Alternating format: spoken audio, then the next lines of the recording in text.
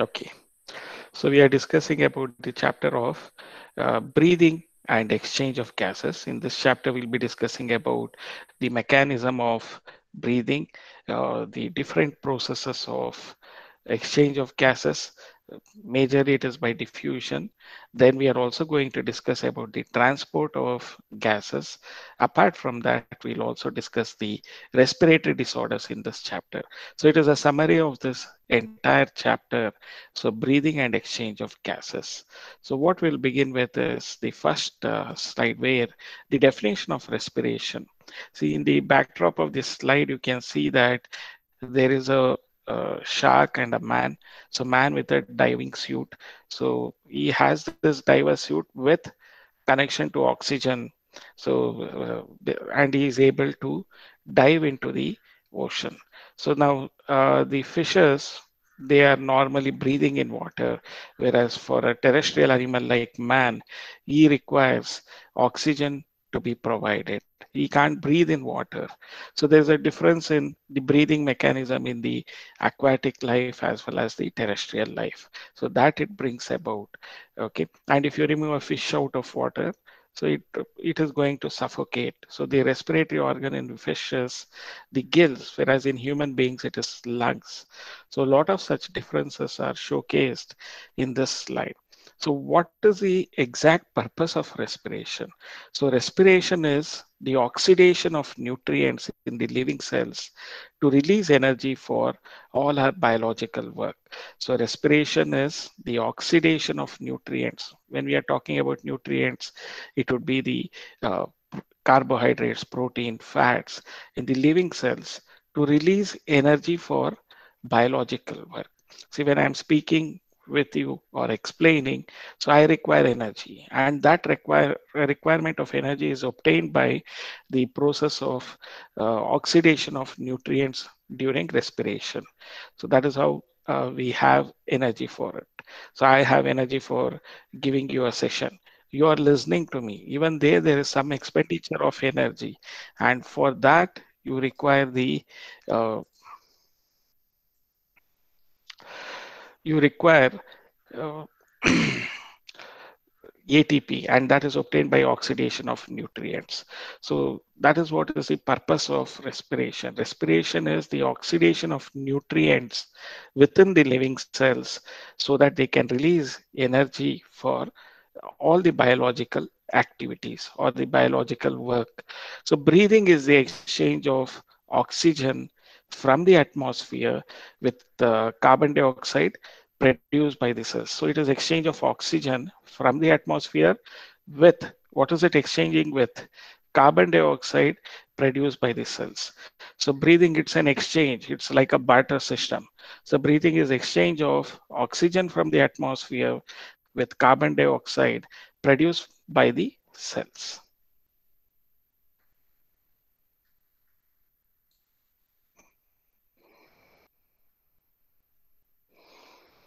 So the respiratory organs in different organisms, they differ.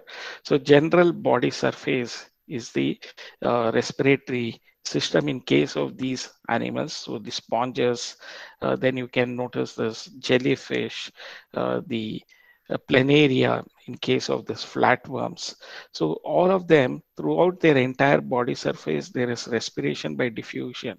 So general body surface, uh, by diffusion, they undergo respiration. In case of lower invertebrates like sponges, coelenterates, flatworms. It is directly by diffusion. They don't have any special respiratory system or respiratory organ. It is directly by diffusion through the general body surface that they breathe in case of these organisms.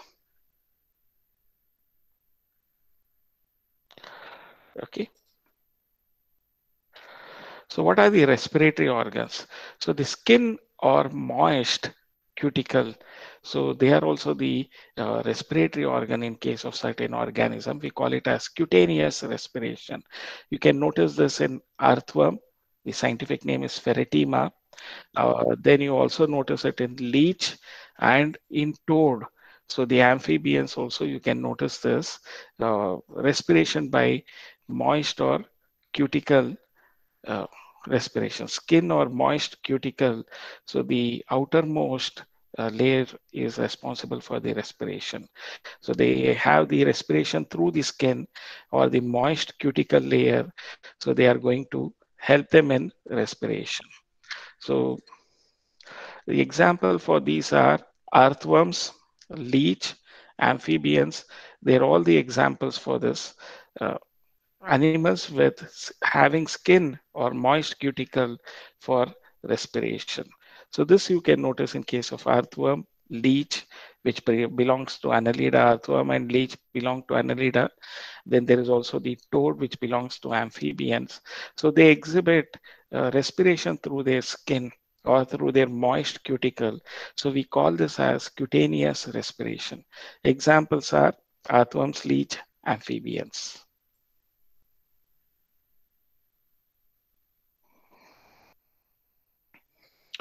The respiratory organs are, uh, in case of insects, you find this trachea. Tracheal tubes are there.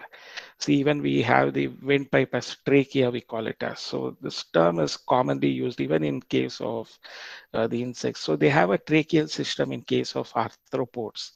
So example, insects, centipede, uh, then millipede, spider, they exhibit this tracheal system. So the insects, locusts, so which were a menace very recently. Okay, they all have this uh, tracheal system of respiration. So the insects, centipede, millipede, and spider, they are all having this tracheal system of uh, respiration. So the respiratory organs in case of fishes, so the gills or uh, branch, uh, branchial respiration, we call it as. So the gills are the respiratory organs in case of fishes. Tadpoles, tadpoles have external gills. Okay, and prawn, prawn also has gills. So in case of this aquatic animals like fishes, tadpoles, the young ones of amphibians, they have this external gills. So uh, internally, the fishes have gills which are protected by this operculum. They have this covering on them. So the operculum is there which protects them.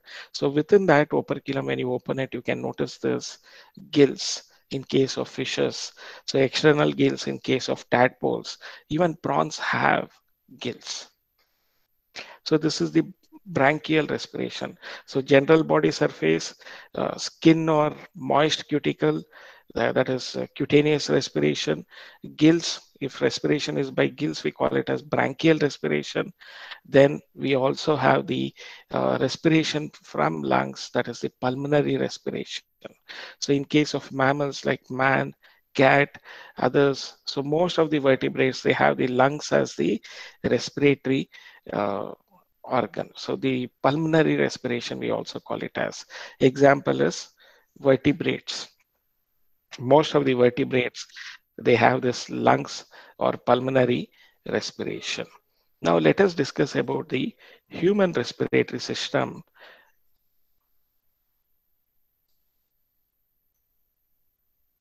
See the human respiratory system, it is of uh, we can study it under air tract or air passage and paired lungs.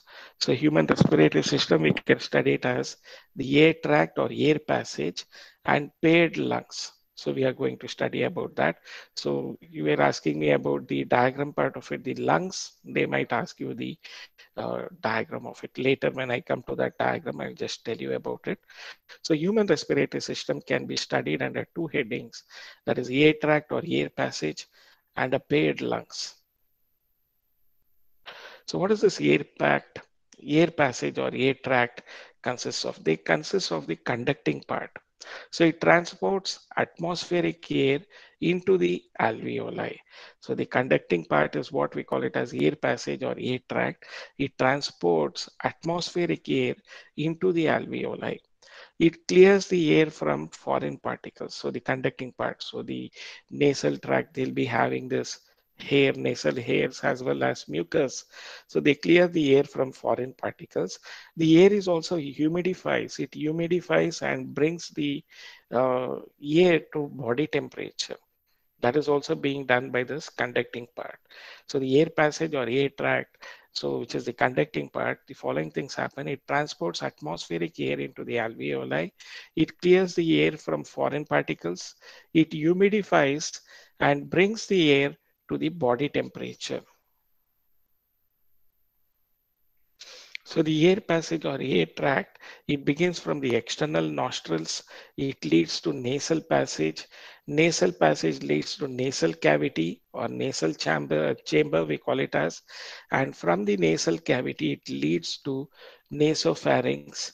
So, and glottis. So nasopharynx and glottis. So further it leads to larynx. From larynx, it proceeds to this trachea. From trachea, they are going to enter into the primary bronchi and primary bronchi branches to form secondary bronchi and uh, tertiary bronchi, then bronchioles and terminal bronchioles and respiratory bronchiole. So finally it leads to alveolar duct. So each terminal bronchiole gives rise to many thin and vascularized sac-like structures called as alveoli. So this is the air passage or air tract.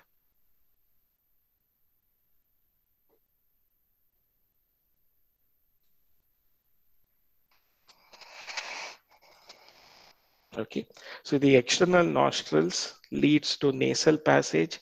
Nasal passage leads to the nasal chamber, or it is also called as nasal cavity. Nasopharynx leads to glottis. So from the glottis, it leads to larynx larynx is the uh, voice box I told you about. From the larynx, it leads to the trachea, and from trachea, they are going to branch into primary bronchi. Uh, the trachea enters into the right and left lung. So they are going to branch to form the primary bronchi and enter into the right and left lung. Primary bronchi branches to form secondary bronchus and secondary bronchus branches to form tertiary bronchus. So the tertiary bronchus they are going to branch to form the bronchioles. You can notice all this in this structure. So the bronchioles finally end up with terminal bronchiole and terminal bronchiole has the respiratory bronchioles through which diffusion of air takes place and the respiratory bronchiole, it opens into the alveolar duct. So each terminal bronchiole gives rise to many thin and vascularized alveoli. So this is what you can notice in case of uh, the air tract or air passage.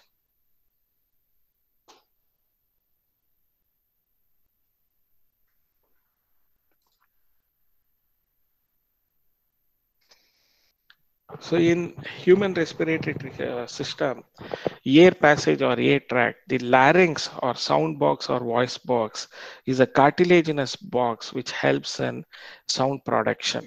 So the larynx is also called as sound box or voice box. So they are going to produce this.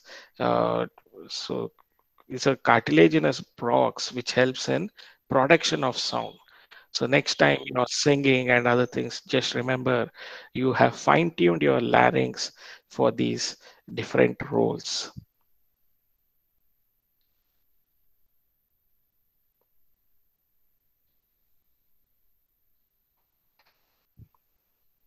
So during swallowing, what is going to happen is the glottis is closed by this cartilaginous flap. So this is elastic cartilaginous flap. So that we call it as uh, the epiglottis. Okay, so epiglottis is going to uh, prevent the entry of food into larynx. So the trachea, all bronchi and initial bronchioles are separated by, are supported by the C-shaped cartilaginous rings, or we can also call it as cartilaginous half rings. So they are supported by. So the human respiratory system, you can notice that. So the uh, from the nasal passage, it leads to the larynx, larynx or sound box or voice box, we call it as. It is a cartilaginous box which helps in the uh, pro sound production.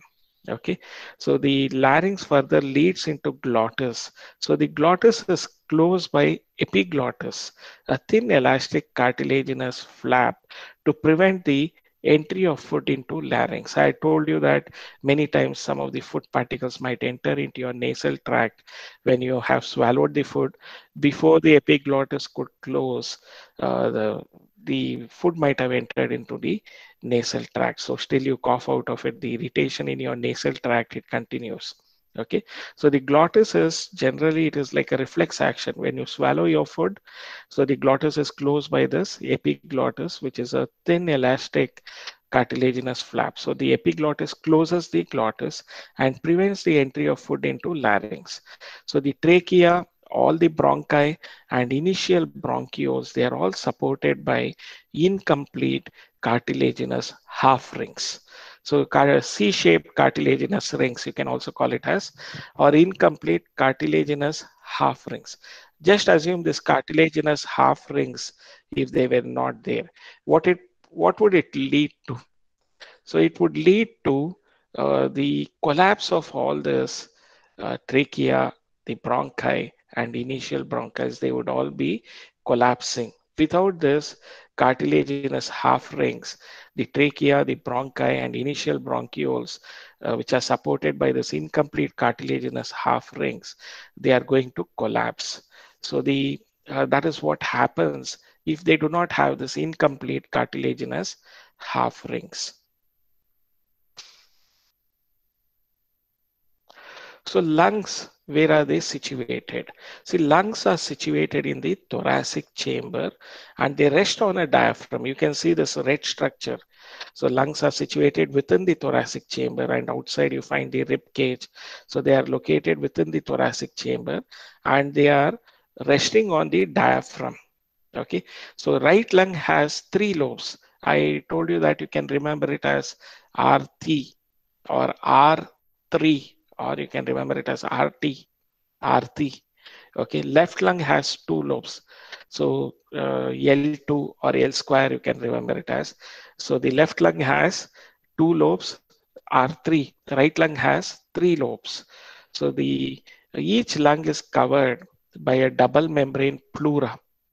So this pleura membrane, you can see the outer parietal pleura and inner visceral pleura. So they are having this pleural membrane, an outer parietal pleura and an inner visceral pleura. This pleura is going to uh, cover the uh, double, this double layered pleura is covering the lungs. Okay, the pleural fluid present in between these two layers, that is outer parietal pleura and inner visceral pleura, there is a space and that is filled by this pleural fluid. So the pleural fluid present in between these two layers, they lubricate the surface of the lungs and they prevent friction between the membranes. So they prevent the friction between the membranes. So that is the role of this pleural uh, fluid.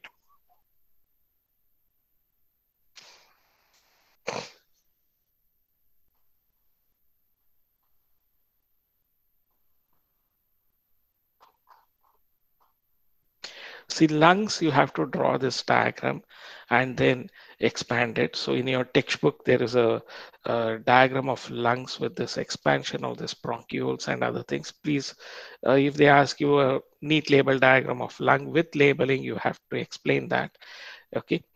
So the uh, lungs equals, what is the lungs made up of? They are outermost layer, they are made up of pleura. They have two membrane, outer parietal pleura and inner visceral pleura. In between these two layers, so there is a pleural fluid. So the pleural fluid present in between these two layers, they lubricate the surface of the lungs and they also prevent friction between the membranes. Okay.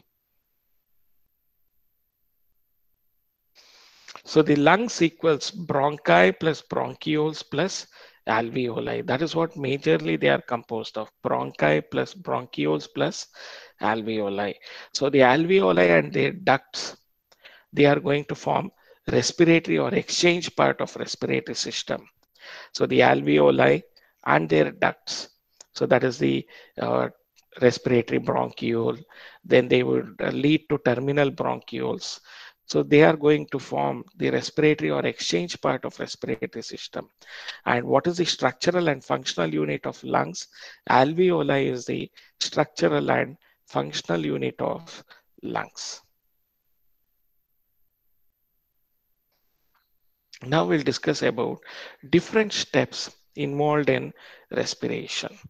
So there are pulmonary uh, ventilation, or we also call it as breathing, gaseous exchange between lung, alveoli, and blood.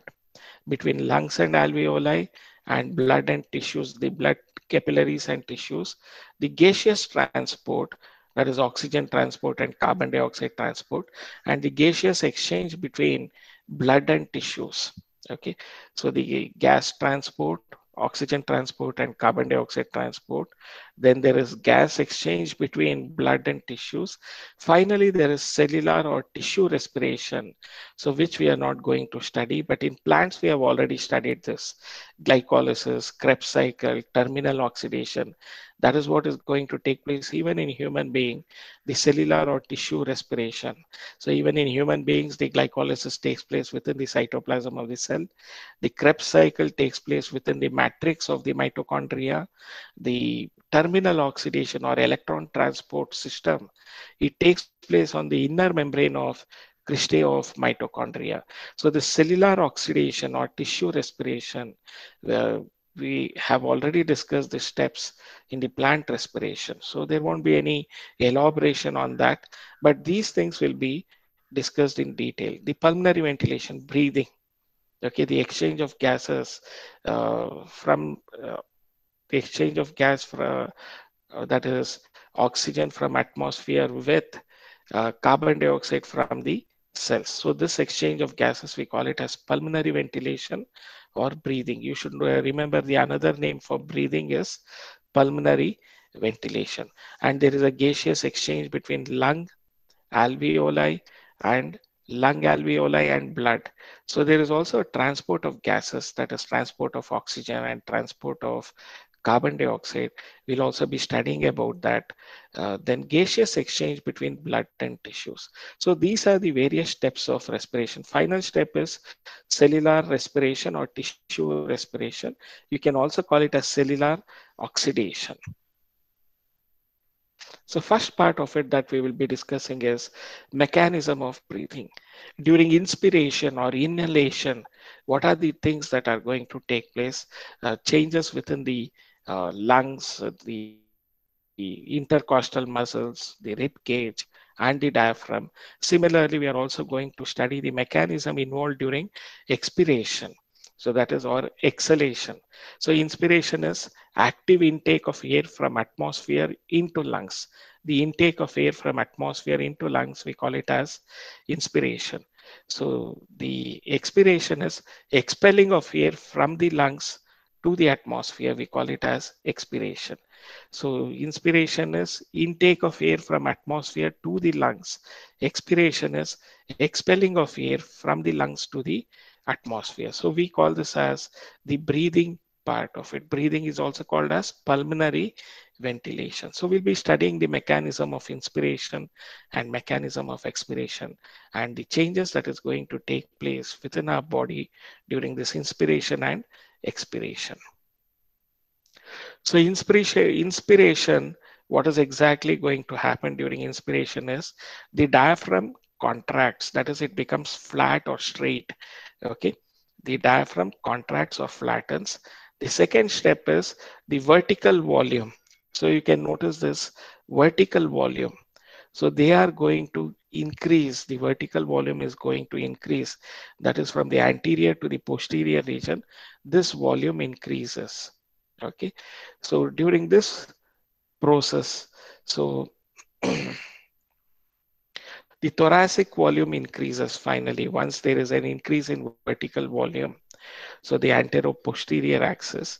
So it leads to, see, uh, there are two steps. This is vertical volume increases whenever diaphragm becomes flat. And simultaneously, there is external intercostal muscles, they contract. So you can see the arrow mark in which the rib cages are going to expand.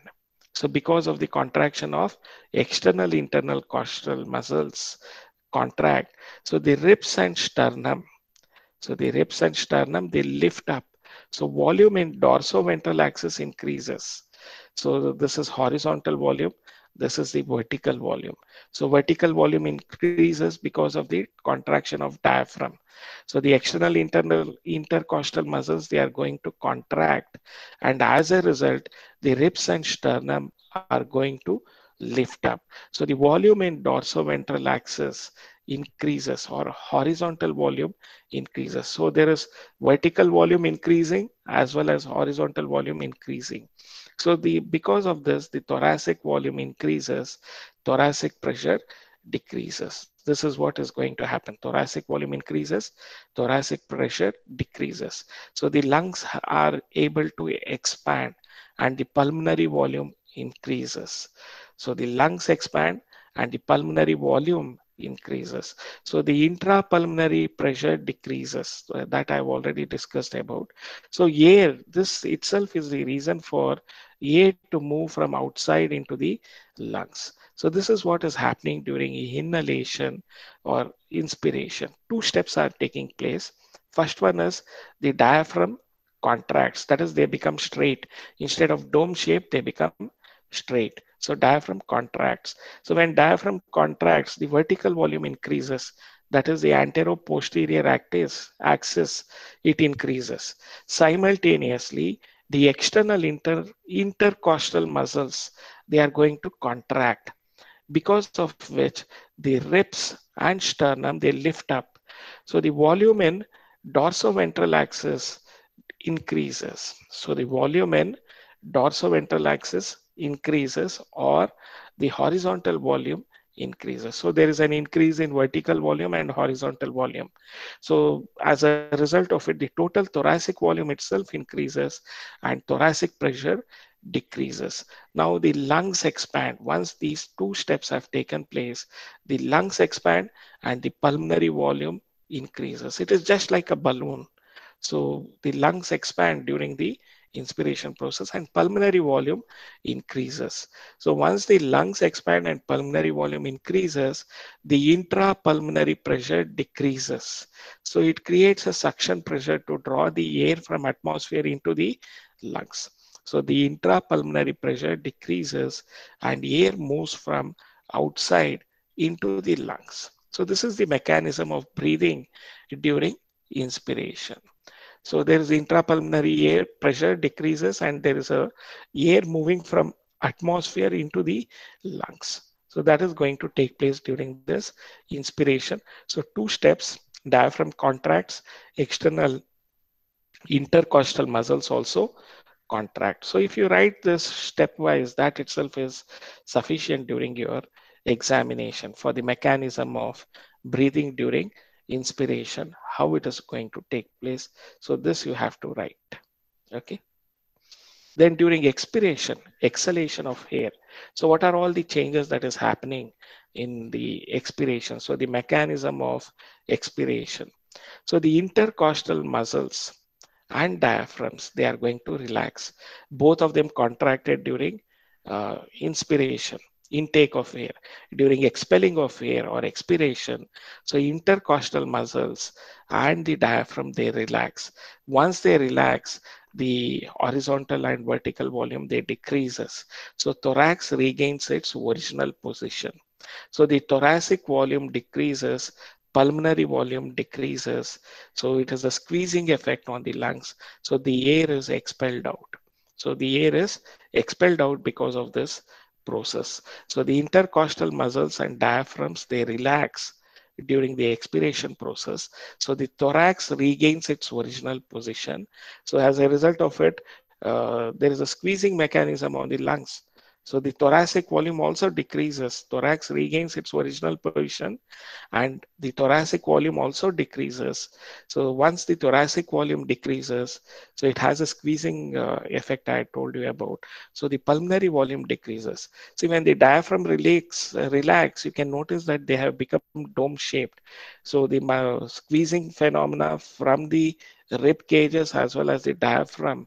So they are squeezing the air out. So the pulmonary volume decreases. So air moves out from the lungs into the atmosphere. So it is expelled out from the lungs into the atmosphere. Okay. So that is what you find during the mechanism of expiration.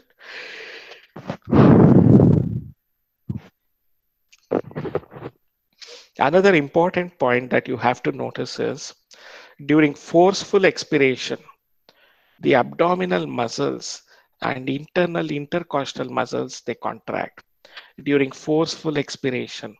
So that is, it is not normal expiration. It is almost like expiratory reserve volume. So during forceful expiration, the abdominal muscles, so you are planning for some ab workout. So forceful expiration, you can have this abdominal muscles and internal intercostal muscles. The internal intercostal muscles, both of them are going to contract. And when you come back to your normal position, they relax. So during forceful expiration, the abdominal muscles and internal intercostal muscles they contract so you have to remember about it so during the forceful expiration the abdominal muscles and the internal intercostal muscles they are going to contract so that is one point you have to remember about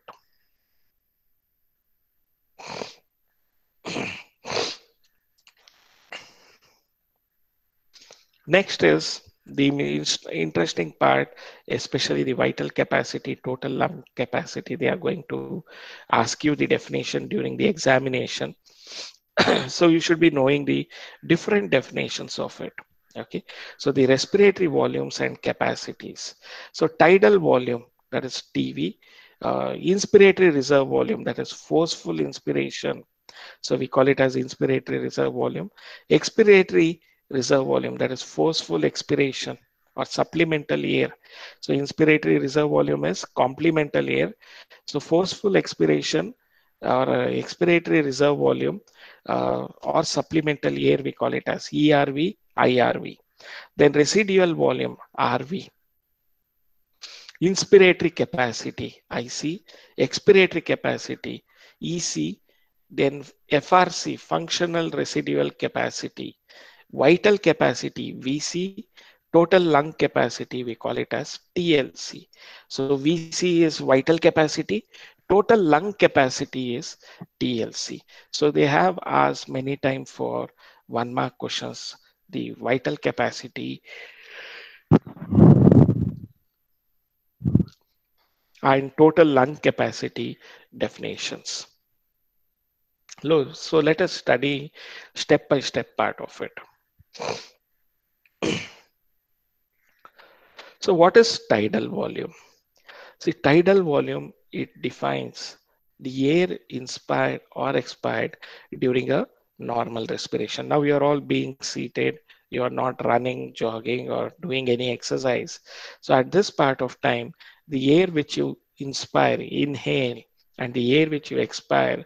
So this is normal respiration.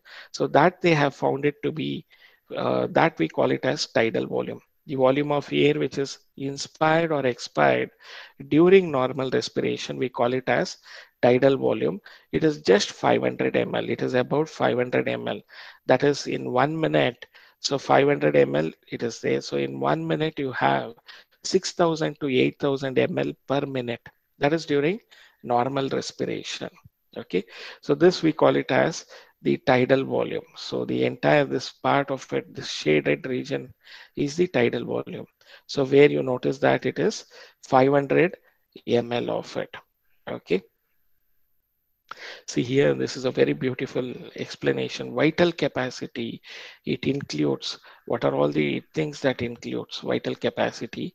ERV, this is vital uh, capacity, VC, Okay, so then it also includes IRV. So ERV plus VC plus IRV, we call it as, so this entire thing, we call it as the vital capacity. Okay, ERV, TV plus IRV, we call it as vital capacity. So if it includes the residual volume and all four of that, we call it as total lung capacity. What is the total lung capacity? Residual volume plus ERV plus VC plus IRV. All this four together, we call it as total lung capacity. Okay, so using this graph, it is very easy to understand this definition, but they have not given it in your textbook. So you just go through this. So to remember the definition, if I have to define vital capacity, it is ERV, expiratory reserve volume, plus tidal volume, plus inspiratory reserve volume. Together, we call it as vital capacity. Total lung capacity is residual volume, expiratory reserve volume, vital capacity, inspiratory reserve volume. All these four components together, we call it as tidal uh, total lung capacity. So when now what we are breathing, it is tidal volume. So it is in normal breathing. So whenever we are inspiring or expiring during normal breathing or normal respiration, we call it as tidal volume. It is about 500 ml. So this air that we take up is 500 ml during other liter, half liter or 500 ml during this insp uh, inspiration or expiration. So in a minute, we have 6,000 or 8,000 ml per minute. So that is the intake of air per minute. So in a minute, we'll be breathing 12 to 14 times. So on that basis, they have calculated it. So it would be 6,000 to 8,000 ml. So in a minute, we breathe for 12 to 14 times. So you multiply that 12 into 5, it is 6,000. 14 into 5, you have this 8,000. So 6,000 to 8,000 ml per minute.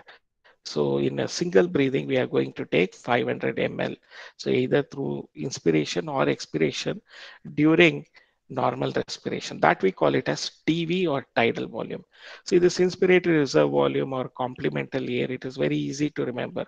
Forceful inspiration, especially I told you we had a discussion on this pranayama and others, isn't it? So the forceful inspiration, normal inspiration is what we are having. Now you are doing an pranayama wherein you take more air than normal respiration. So the forceful inspiration that you take or do. So that additional volume of air that can inspire by forceful inspiration, it is 2500 to 3000 ml. So this forceful inspiration can also happen whenever you are running very fastly or doing any exercises. So there is forceful inspiration. So you should remember about that. And that is nearly 2.5 to 3 liters of air. So it is 2500 to 3000 ml. So during the forceful inspiration. So additional volume of air taken that can be inspired by forceful inspiration, it is 2.5 to 3 liters. Okay, normal it is 500. Now when you are doing pranayama or other breathing exercises, so you have a forceful inspiration where you take nearly uh, 2500 to 3000 ml. Now the forceful expiration, we call it as expiratory reserve volume or supplemental air. So that is the next definition. So the additional volume of air that can be inspired by forceful inspiration, we call it as inspiratory reserve volume. So the additional volume of air that can be inspired by forceful inspiration, we call it as uh, complemental air or inspiratory reserve volume. It is 2500 to 3000 ml, that is 2.5 to 3 liters of air. The next one is expiratory reserve volume or supplemental air. So the additional volume of air that can expire by a forceful expiration. So you are expiring the additional volume of air. So that is expelled out by a forceful expiration. So sometimes you might be uh, breathing out uh, during the pranayama itself, forceful expiration when you make. So it leads to the exhalation or expulsion of air into the atmosphere. That could be around 1000 to 1100 ml. So the forceful expiration of air is 1000 to 1100 ml. So we call this ERV also as supplemental air. IRV, we call it as complemental air. Next is RV. What is RV? So the residual volume.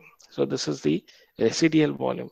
The volume of air remaining in lungs after a forcible expiration.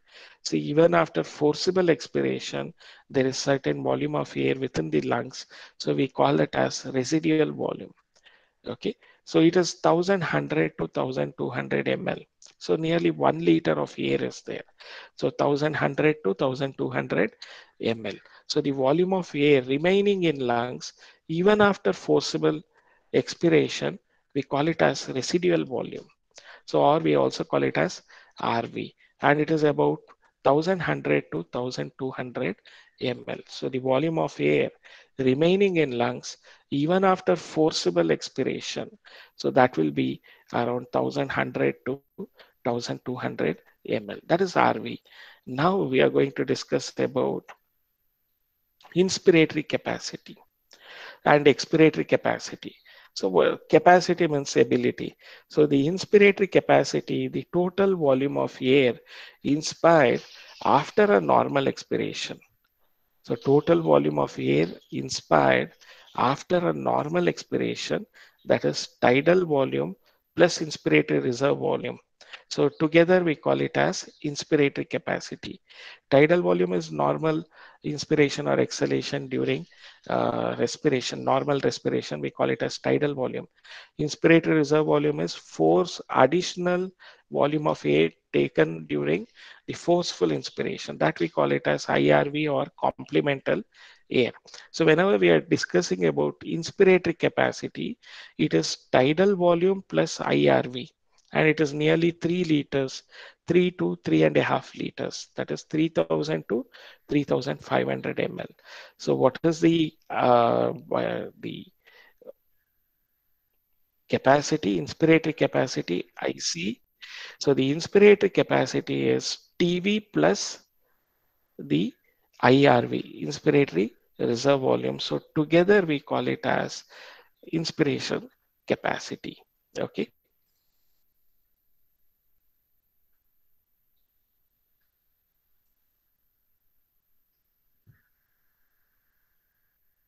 Next is expiratory capacity. Again, it is TV plus ERV. So total volume of air expired after a normal inspiration.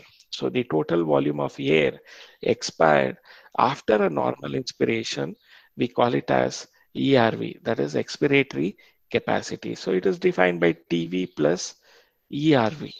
Okay, so that is what is the normal uh, expiratory capacity.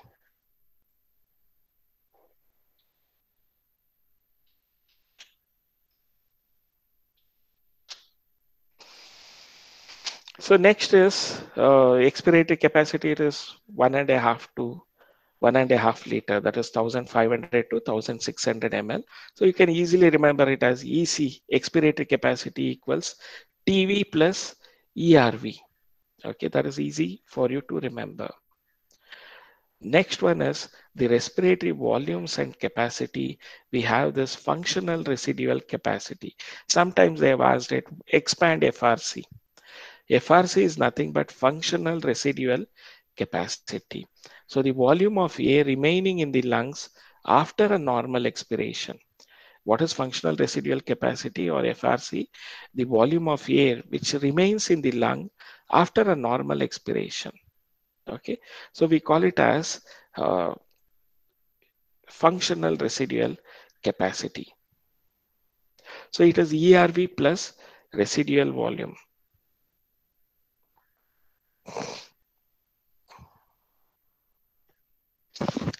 Expiratory capacity is volume of air expired after a normal inspiration. So that volume of air, we call it as expiratory capacity. Don't get confused with FRC. What is FRC? It is volume of air remaining in the lungs. It is not volume of air expelled. So volume of air uh, remaining in the lungs after a normal expiration, that is ERV plus RV. So volume of air remaining in the lungs after a normal expiration. So we call it as functional residual capacity. That is, it is 2100 to 2300 ml. So the volume of air remaining in the lungs after a, so here you have this FRC, ERV plus RV, we call it as FRC. So this table is very good to understand. Uh, this graph is very good to understand the uh, ERV FRC all those it is very easy to understand okay? So the functional residual capacity is so the volume of air remaining in the lungs which remain in the lungs after a normal expiration that is erv plus rv we call it as frc so it is 2100 to 2300 ml so you have to mark this up there is no other go you have to remember the uh, formulas and the liters. What is vital capacity, VC? Okay, volume of air that we can breathe in after a forced expiration. See, the vital capacity is volume of air that we can breathe in after a forced expiration or volume of air that we can breathe out after a forced inspiration. Okay, so volume of air that we can breathe in after a forced expiration or volume of air that we can breathe out after a forced inspiration we call it as vital capacity. See you are doing a pranayama so forceful inspiration you have done. Now the volume of air that you can expel out after this forced inspiration so that you can expel out that uh, volume of air that you can breathe in after a forced expiration so that volume of air or volume of air that you can breathe out after a forced inspiration. So that we call it as the vital capacity. So vital capacity is after forced inspiration. If you are going to expel out that air, that air is called as vital capacity or after forced inspiration. The volume of air that you can breathe out is the uh, vital capacity. So it is easy formula. Uh, the ERV plus IRV plus TV, tidal volume. So ERV plus tidal volume plus IRV, that is inspiratory reserve volume. Expiratory reserve volume, tidal volume plus expiratory, inspiratory reserve volume. It is totally 3.5 to 4.5 liters.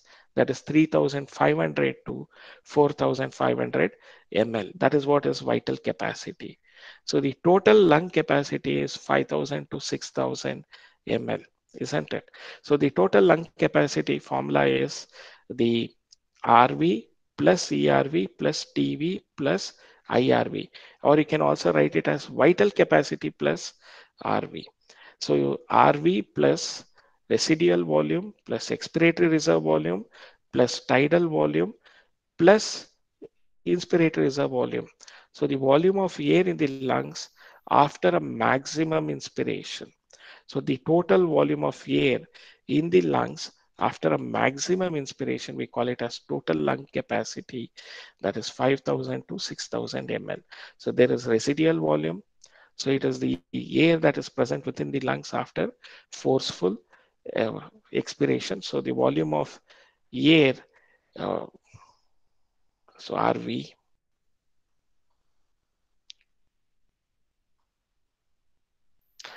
remaining in lungs after a forceful expiration, we call it as residual volume.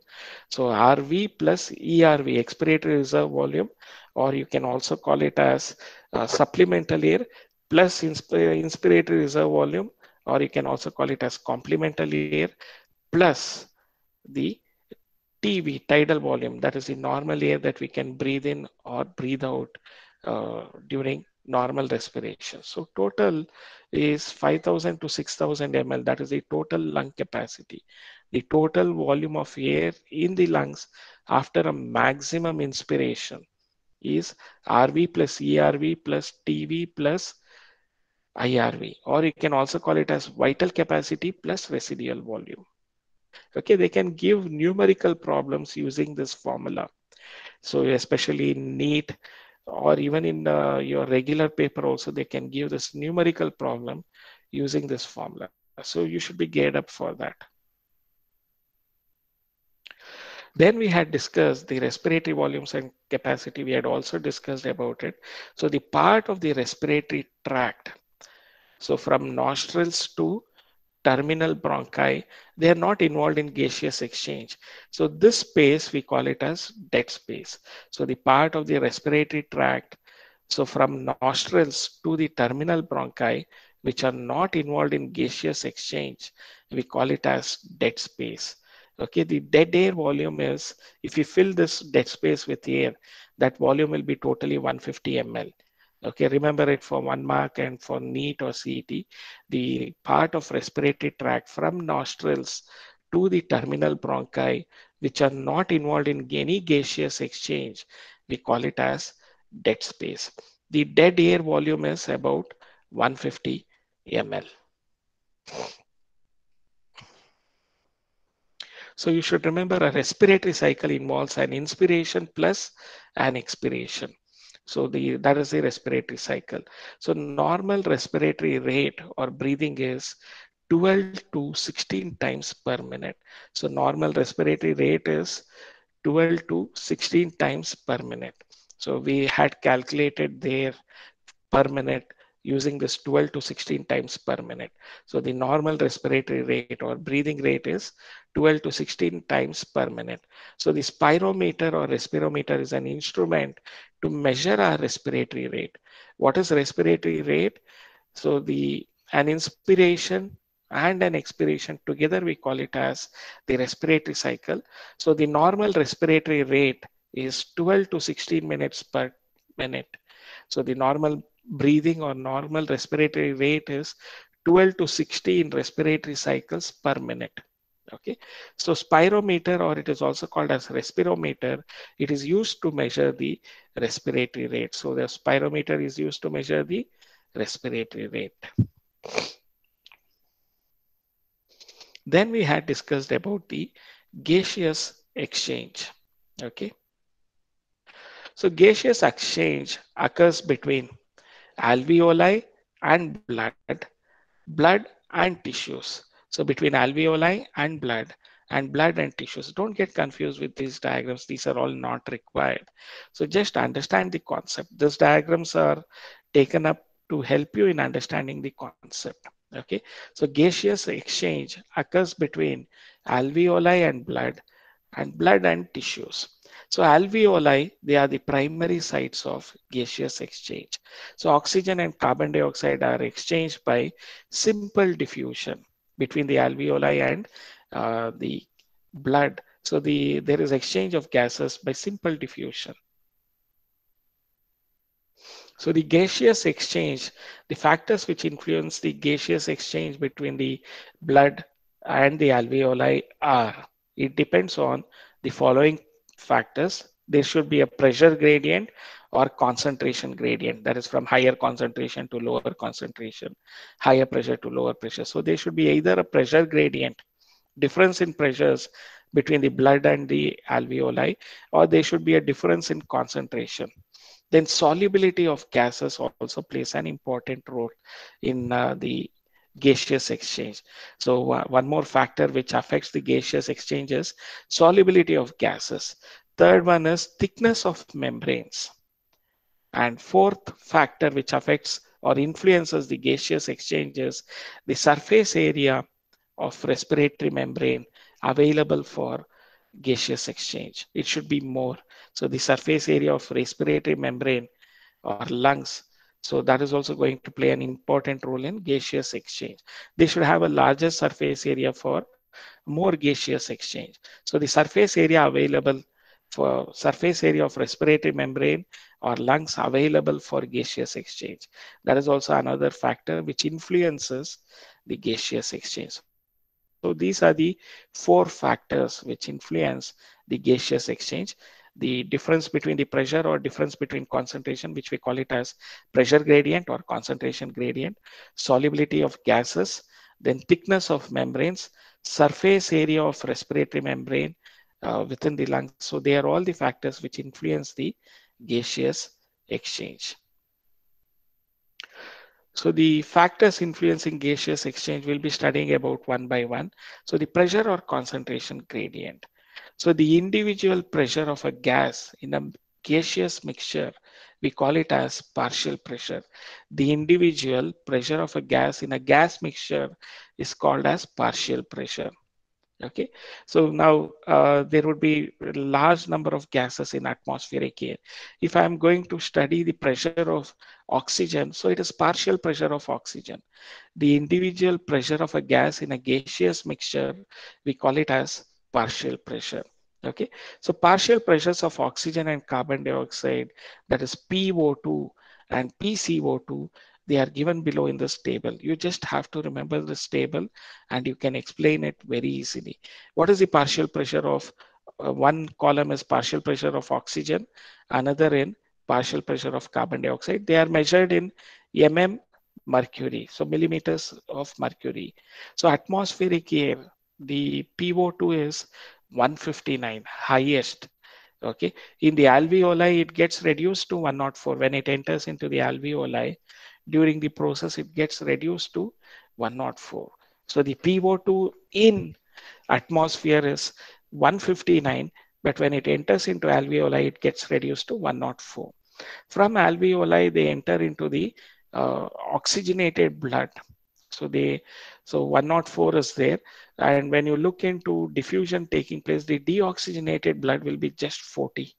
So alveoli, the exchange of oxygen takes place from alveoli to the deoxygenated blood because of difference in this uh, pressure gradient or concentration gradient. So they move by diffusion, oxygen moves into the deoxygenated blood. Okay, so the, and the deoxygenated blood becomes oxygenated blood, which will be having 95 mm. So they will be having the 95 mm mercury that is the partial pressure of oxygen. So the PO2 will be 95. See, atmosphere, it was 159. Finally, in the oxygenated blood, it is just 95.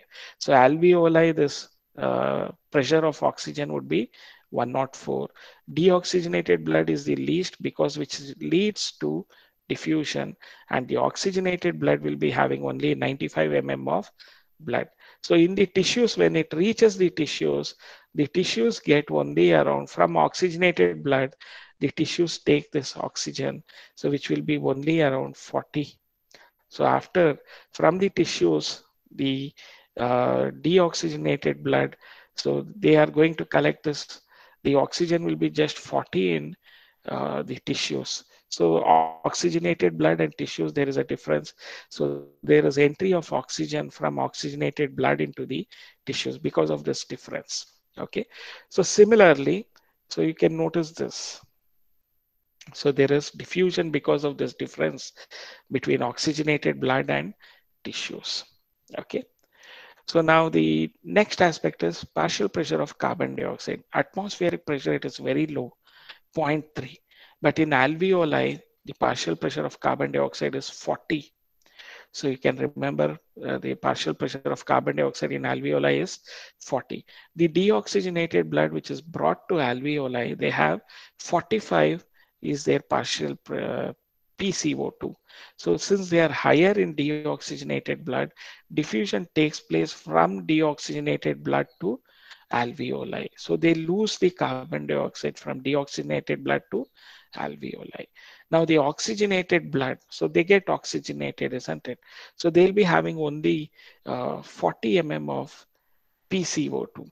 But when they come to this oxygenated blood, when they come to the tissues, so there is diffusion from the tissues, the carbon dioxide enters into this oxygenated blood and they become deoxygenated blood, which is brought back to the heart.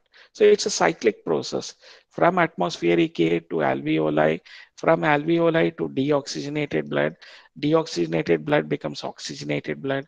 Oxygenated blood reaches the tissues, and from the tissues, there is a transfer of gases, and uh, that will be collected. So the blood, after the transfer of gases from tissues, they become deoxygenated blood. So deoxygenated blood will be brought to the alveoli, and they are exposed to the atmospheric air. So this is how there is diffusion taking place because of difference of partial pressure of oxygen and partial pressure of carbon dioxide. Okay, this pressure or concentration gradient is responsible for diffusion. This diagram is a very simple diagram to explain it. This is the alveoli, the alveolar air. So what is the partial pressure of oxygen? 104. Carbon dioxide, it is 40. So there is, what about the blood that is brought from the lungs? So this is the heart, this is the alveoli. So the blue colored one represents the deoxygenated blood. So deoxygenated blood, they'll be having, so you know the deoxygenated blood value of it. So they'll be having 40 mm of uh, oxygen and 45 mm of uh, carbon dioxide. As a result of that, so the oxygen enters from alveoli into the uh, pulmonary artery and carbon dioxide enters from the pulmonary artery into the alveoli. So there is exchange of gases. So once oxygen enters into this deoxygenated blood, they become oxygenated. So oxygenated blood will be having oxygen of 95 mm and they'll be having carbon dioxide of 40 mm. So this oxygenated blood is brought to the heart. They are pumped to the entire part of the body. So the oxygenated blood, when they reach the tissues, so body tissues, you should understand, there is uh, body tissues have oxygen of 40 and carbon dioxide of 45 mm. So there is diffusion from 95 mm, the uh, oxygen enters into 40 mm so there is diffusion and from 45 mm, the carbon dioxide is going to enter into the blood because of difference of the partial pressure of carbon dioxide. So here it is 45 in the blood, it is 40. So there's diffusion. So the oxygenated blood after the exchange of gases in tissues, they become deoxygenated blood. That is why I was uh, telling you about how the circulatory system and the respiratory system are interlinked in the uh, purification of blood. Okay, that is in oxygenation of blood. So this diagram, you can draw it even during examination and explain it. A simple diagram to explain the exchange of gases because of pressure concentration gradient. When you are writing it in exam, you can write this table also. So the respiratory gas, I'll be uploading this PDFs of it uh, by today. Okay, so you need not have to worry. By today, the digestion as well as the respiration, I'll be uploading it. So this is the description. So with this, if you have the diagram, you can easily describe that. So the partial pressure of oxygen in alveoli is 104 mm than that in the blood capillaries, which is 40 mm and carbon dioxide is 45 mm here it is 40 so there is entry of oxygen and exit of oxygen from the blood capillaries. So partial pressure of carbon dioxide in deoxygenated blood is more that is uh, 45 uh, whereas the oxygenated uh, oxygen part is very less 40 mm okay? So carbon dioxide diffuses to alveolus. So that is what you find so there is a difference of partial pressure of oxygen in alveoli 104 and here it is 45. So there is oxygen diffuses into capillary bed. So partial pressure of carbon dioxide is more in this capillary than the alveoli. So they exit out from the blood. So carbon dioxide diffuses to alveoli. And the second aspect of it, solubility of gases. So the solubility of carbon dioxide is 20 to 25 times higher than that of oxygen. So the amount of carbon dioxide that can diffuse through the diffusion membrane per unit. So the solubility of carbon dioxide is very high when compared to oxygen. So the amount of carbon dioxide can that can diffuse through diffusion uh, membrane per unit uh, difference in partial pressure is much higher than that of oxygen. Here they have shown that with example. So the solubility of carbon dioxide is, see this is partial pressure of oxygen and the oxygen solubility rate, it is just 0.15 micromole per liter. But if you look into the uh, solubility of carbon dioxide, it would be 3 micromole per liter. So it is at least 20 to 25 times higher than that of uh, solubility of oxygen. So the solubility of carbon dioxide per unit membrane, membrane per unit is much higher than that of oxygen. Okay, so you can see that it is 3 micromole per liter, whereas oxygen is just 0.15 uh, solubility. That is what is there micromole per liter. So it is 20 to 25 times carbon dioxide solubility of carbon dioxide is 20 to 25 times higher than that the solubility of oxygen. So the amount of carbon dioxide that can diffuse through a diffusion membrane per unit so uh, is different difference in partial pressure is much higher than that of oxygen. So the next factor which affects the gaseous exchanges, uh, the thickness of membrane. Thickness of membrane is very uh, small. It is total thickness is just 0.5 micron meter. So diffusion membrane is made up of three layers. So the squamous epithelium, basement substance, which is found in between the uh, between this squamous and endothelium. Endothelium is the squamous epithelium lining the inner blood vessels. We call it as endothelium. So the diffusion membrane is made up of three layers, squamous epithelium and endothelium. And in between the squamous epithelium and endothelium is this basement substance. So this is what you have to remember. Squamous epithelium of alveoli, endothelium of uh, capillaries, alveolar capillaries, then basement substance found in between the squamous and uh, endothelium. So they are just 0.5 micron meter. So the thickness of this uh, membrane is 0.5 micron meter. So it easily enables gaseous exchange. It is very less thickness. So the surface area of respiratory membrane, if you are going to a human lung surface area, if you're going to spread it out, it is equivalent to a tennis court. So that is the vastness of the surface area which is available for respiration. So the surface area of respiratory membrane, human lung is equal to a tennis court. So the presence of alveoli within the lungs, they increase the surface area of lung. Thus, there is an increase in gaseous exchange. So the surface area is the presence of alveoli within the lungs, they increase the surface area. If you spread out all those surface area of alveoli, it is equivalent to a tennis court. Okay, so larger the surface area, eh, more the gaseous exchange takes place. So that is the fourth factor which affects the uh, gaseous exchange. So next we will be discussing the gas transport in the next class. So I'll be winding up with the second part of the summary of this chapter. Okay, so the gaseous transport that we will be winding up in the next session.